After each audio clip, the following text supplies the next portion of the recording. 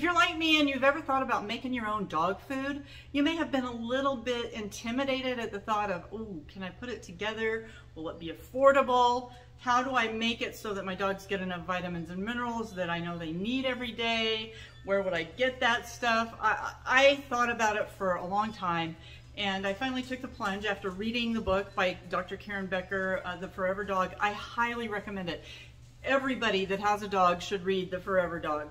Seriously, it is a great book. It's got so much information in it. I will probably read it five or six times. It's so good link down below. You can get it on Amazon. It's a great, great book. And she does have recipes in there for making your own dog food. This is not one of those recipes. This is something that I put together.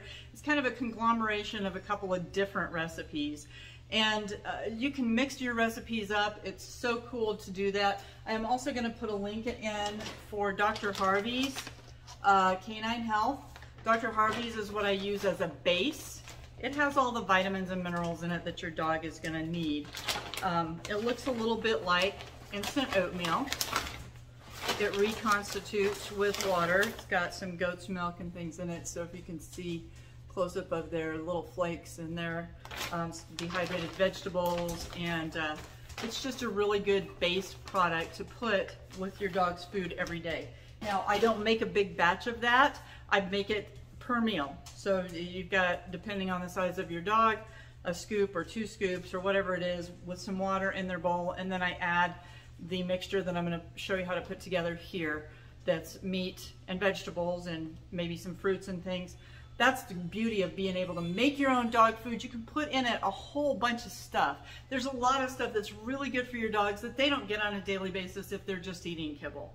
Uh, today we're going to put some apples in their food, some uh, some green beans, some carrots, maybe some broccoli. I just throw kind of whatever I get on sale at the grocery store. So, so you got to kind of think outside the box. If it's good for your dog, uh, grab it. If it's on sale, that's even better. So here we go. I've got the pots and pans here on the stove. There's four pots on the stove. I'm going to make four batches at one time. I found that's the most expedient way to make it. I've also got some little casserole dishes. These are plastic uh, with a lid that uh, I actually got at the dollar store. and the reason I got these particular dishes are they stackable and I can put eight on the bottom shelf in my freezer. So let's get right to it. I'm gonna go ahead and get this started. So let's put the meat in to cook. So I've got the ground turkey in here. I've got it in all four pots and I'm just gonna kind of mash it up a little bit. Don't add anything to it like salt or pepper you just because you don't want to add spices to it and just kind of want to let it brown. Uh, so I've got all of these on just a little above medium heat. They'll cook pretty fast since they're not frozen. So I'm going to go ahead and cook these up. The one thing I am going to do here is add a couple of things that I like to put in there. And I'll drop a link down below as to where to get these. And they are essential oils. I like to add a couple of different essential oils and I'll tell you why here in a second. Okay, now I've got, in these pots, I've got two and a half pounds in each pot. I buy the turkey either at Sam's Club, that's the cheapest way to get the ground turkey is at Sam's Club. And uh, the reason we're using ground turkey is because Zella, my, uh, my Irish Red and White Setter, is allergic to uh, chicken. And she also has some kidney issues, so she can't eat beef. Um, so ground turkey it is. She can eat turkey or lamb. Turkey is obviously much more affordable and readily accessible than lamb is, so we're doing ground turkey. Once again, it's it's two. These are two and a half pound packages at Sam that I got at Sam's Club. The ones you can get at the regular grocery store, like Kroger, City Market, are uh, um, three pounds, and they are a little bit more expensive. Uh, it's about 50 cents more a pound than it is at Sam's Club. So if you're making a big batch like I am today, I'm actually going to make eight uh, batches so that I can freeze them. I may make nine so that I can have one to put in the fridge that's ready to go. But uh, eight of these, and uh, I'm going to add a little bit of a couple of essential oils. So let me grab those. Today's essential oils that I'm going to be putting in the in these batches of food, I'm going to put a one to two drops of oregano oil per batch. Now, the reason you don't want to put more than that is it can be really hot and it's super spicy. Oregano oil does have antibacterial properties in it though, so it's really good for gut health. And uh, But a little bit goes a long way. You don't want to use very much. So I'm talking one drop per every three pounds of food. We're just going to drop it in on the meat while it's cooking and give it a stir. So there's, watch, you gotta watch it and make sure you don't get more than a drop. One, one, unless, you know, if your dogs like oregano, mine are not super fond of it. The second one that I'm gonna be using today is fennel. Fennel is uh, very, is, is uh, something that calms their stomach. It can be, it can have very, uh, uh what do I want to say? anti-nausea type things. So if they are, if they do have tendencies to that. Now my other two do not. Lucy and Levi are fine. Zella, however, she gets upset stomachs very easily. So one or two drops of fennel, and it does smell really good, and they do like it. It's kind of tasty. So we're going to go ahead and put a drop or two of fennel in each batch.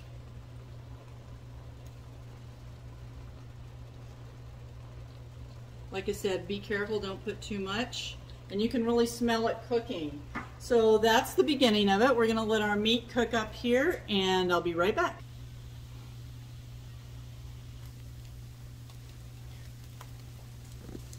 So I've got some bone, uh, bone I'm going to add some bone bone uh, powder to these mixtures. I have added a little bit of uh, this Better Bones, and you can get this at Four Leaf Rover, and I'll drop a link below to get this. This is a great product. Um, I use some of their other probiotics and uh, immune support for Zella because she does have some issues. So I'm going to add, it states on this package to add two teaspoons per pound of meat. Now for what I'm doing here, I'm not going to add two teaspoons per pound. That would be more than what I need in this recipe specifically. So I'm going to add two teaspoons per pot. So two teaspoons in each pot of the meat. Um, and I'm going to go ahead and do that now. Just grab a teaspoon and uh, you can see that it is a, it's a fine powder. The folks at Four Leaf Rover are super helpful. If you call them up, they are happy to talk to you and answer any questions that you might have about their products. So I highly recommend getting Four Leaf Rover on board.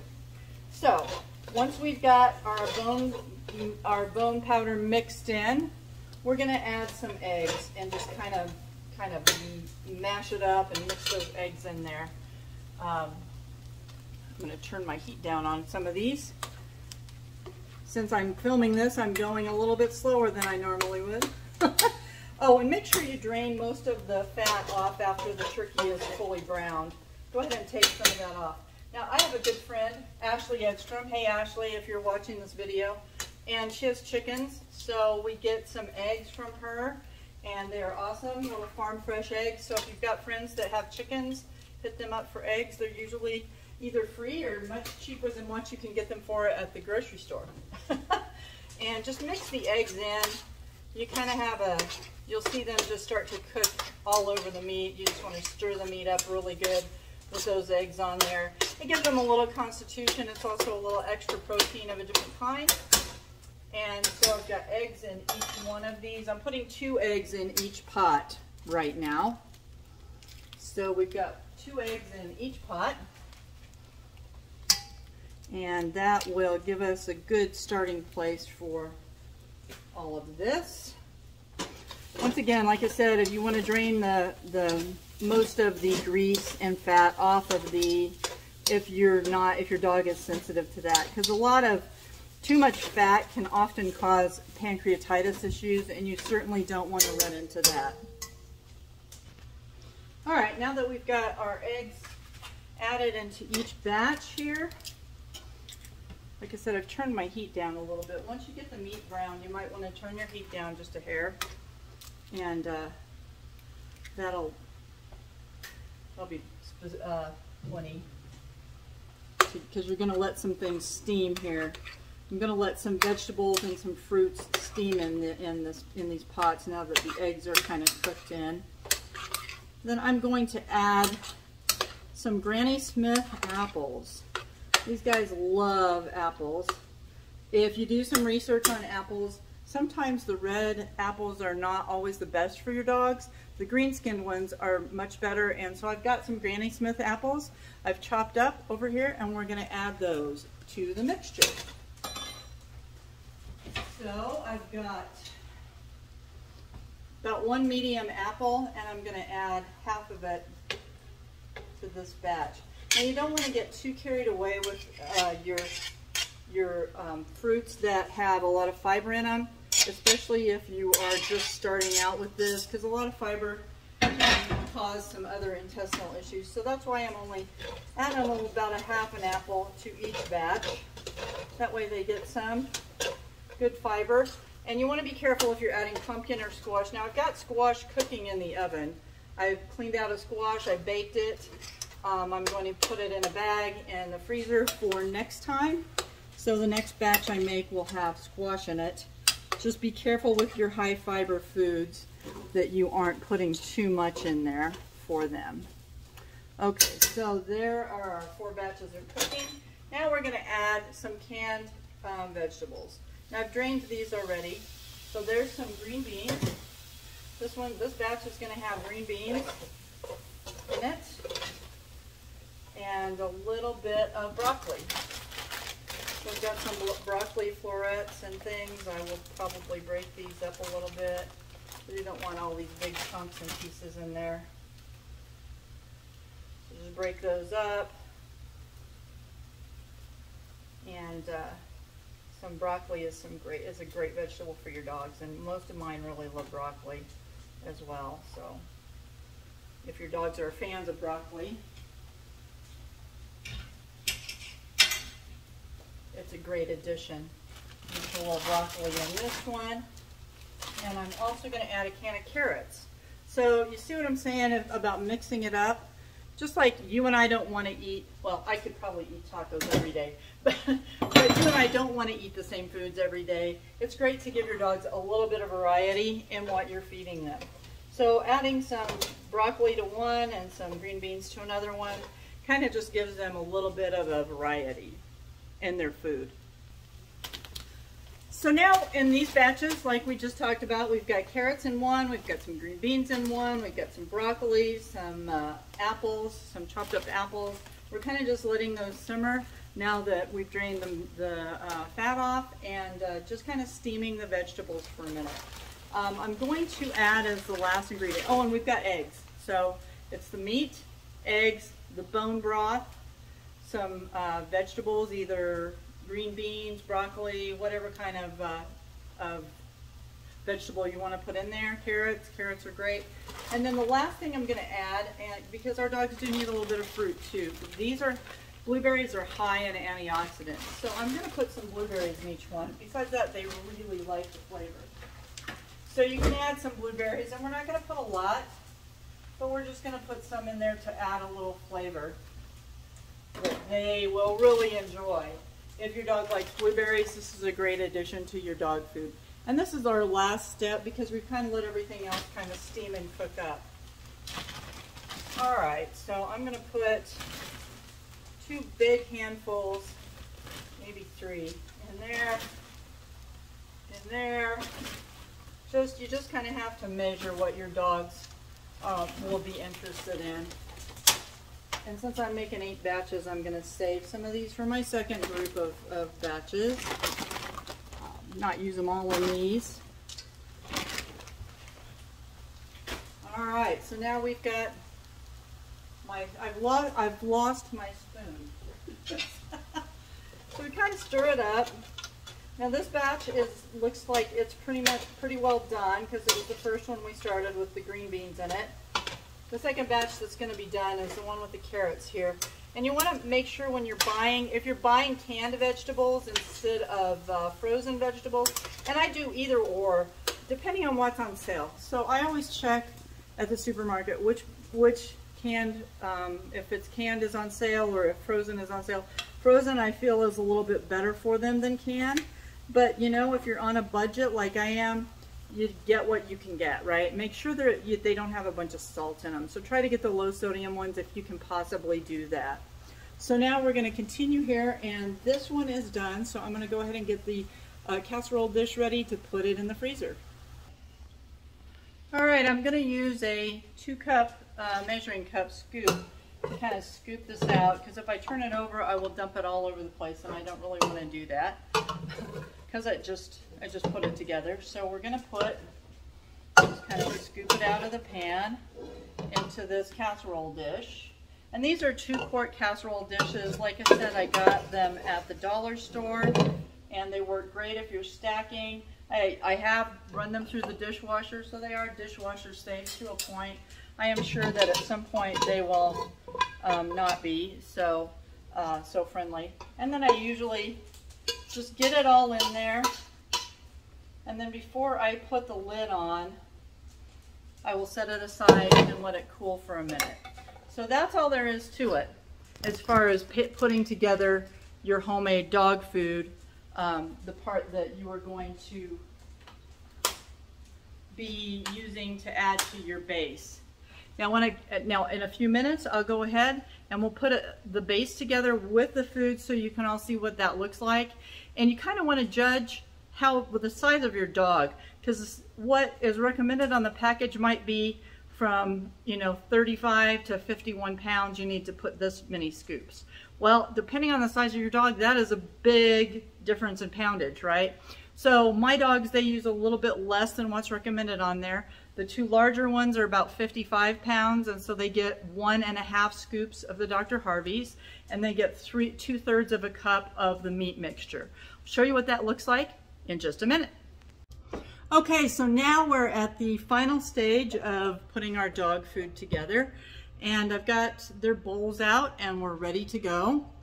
And I'm just gonna show you a little bit about how I put together the Dr. Harvey's base and then add their food. So we've got the, the base food here.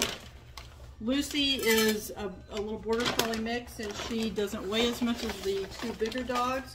So she only gets one scoop of the base food. Zella and Levi each get one and a half scoops of the base food. This is what it looks like. You can see the uh, peas and the vegetables in there. So they each get one and a half food. Once, once again, I'll put a link to this on Amazon. That is, a, Dr. Harvey's also has a website. I will tell you, I'm in Colorado, and it takes a little while for the, um, the food to get to me once I order it. Um, so I prefer to order it on Amazon. So that's all there is to putting the food, the base together. I'm going to add some hot water. And once you add the hot water, it says to let it sit for eight minutes. Just gives the uh, everything a little bit of time to, to pop up and constitute. So there is the base put together. Now for Zella's food, I'm going to add a little bit of extra to it. Uh, like I mentioned before, I have been doing the uh, Four Leaf Rover supplements for her. We've got one here called Protect, which is soil-based probiotics, and that's a whole nother subject. Soil-based probiotics are really good. So I'm gonna put a little bit of the soil-based probiotics on her food. I am also going to add, because she does have immune issues and digestion issues, the Digest uh, product from Four Leaf Rover, a little bit of digestion aid, probiotics, and the uh, kidney and liver cleanse, which is uh, got mostly, it's got some mushrooms and some uh, different things in there. Turmeric, I believe, in one of these products. These are the three that I add to her food after I've put the water in and I just kind of mix it up. And now we're going to uh, let this sit for a little while and add the meat. Okay, now that we've let their food set up uh, a little bit for the base, we're gonna go ahead and add the uh, meat mixture that we made earlier. So Levi is gonna get two thirds of a cup of the meat mixture. Zella is also gonna get two thirds of a cup of the meat mixture. And Lucy is gonna get a little bit less than that because she's a much smaller dog. And I'm gonna show you what that looks like. So this is what Zella's bowl looks like. As you can see, it is pretty full. Um, if you've put this in a bowl, say for that you would be eating for dinner, it will take up an entire pasta, little pasta bowl. So it's quite actually a bit, a lot of food. This is the one for Lucy. As you can see, there's beets and things in there, so that gets a nice red color. And this is the one for Levi. Um, in this last batch that I'm mixing up that I'm showing you now, I added, um, I had some sweet potatoes and I cut those up and put them in there. So that's what it looks like as the finished product. I always add a little extra water, makes it a little soupier and kind of puffs it up a little bit. And I am going to put their vitamins in some, in a chunk of um, pumpkin and to top it off. So there's some for Lucy. And here is Zella's. I just tuck her vitamins inside of there and drop it on top. Same thing for Levi. He actually has a thyroid medication that he takes and I'll just pop his his vitamin and his thyroid tablet right inside there, just like that. And uh, pop it on top of his. And that's pretty much it. And they absolutely love this food. Um, they're so excited when we get to, to make it and they're actually dancing around in the kitchen right now because they're so excited for their dinner that's it. That's how I make my homemade dog food. If you have any questions, please just drop me a note.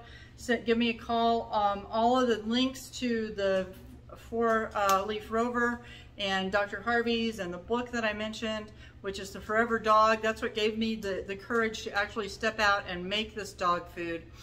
Just give me a shout out. I'm happy to help and give you any advice that I might have. But my, my biggest advice is just dig in and do it. And if you've watched this all the way to the end, thank you so much. If you found it helpful and informative, please hit the like button and subscribe to my channel. Also, if you want to get notifications about future videos, hit the little bell so that you can get a notification when I make a new video because we're going to be having a lot of them come out in the next month. Thanks for watching. Have a great day.